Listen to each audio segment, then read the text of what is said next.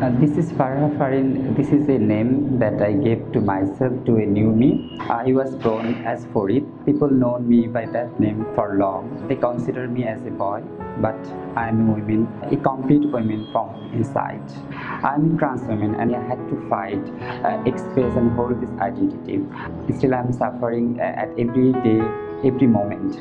This fight from my family to straight. I understand it is challenge for them as well to accept me and change my identity. But this is who I am. This is truth of mine. My family always tortured me, abused me. They wanted to make me a man as the way I was born. They used to bring religious and emotionally blackmail me so that I can convert again as a man. I was bullied in my school, college and university. Wherever I will go to a public transport, shopping malls, I see hate and disgusted. Hospital, police station, uh, public services offices, I am treated as a Jew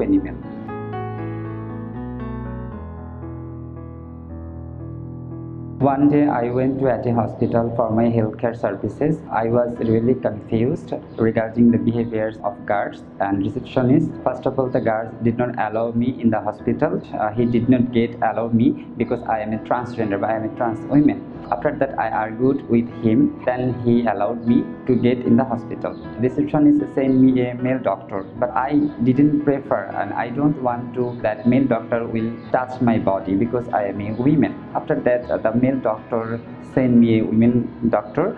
But uh, the women doctor she doesn't know how she will uh, provide the service. She didn't aware about the gender and gender identity actually. This kind of situation i really faced but uh, i have a question. How i will overcome? How i will address this kind of situation in future?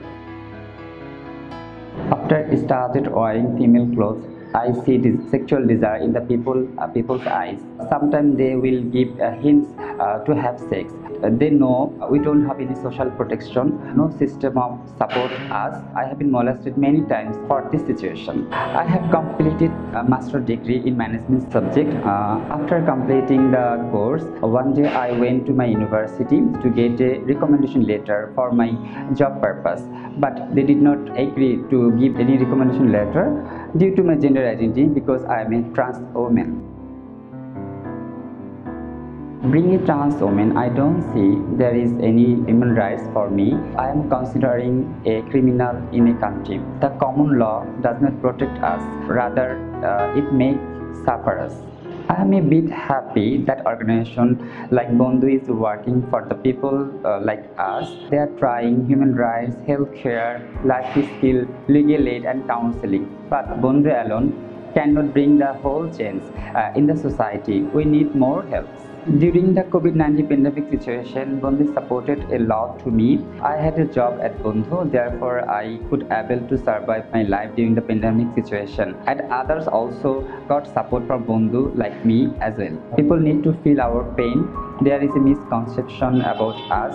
This is our basic rights. We need equal opportunity and we work together for the better improvement of the society.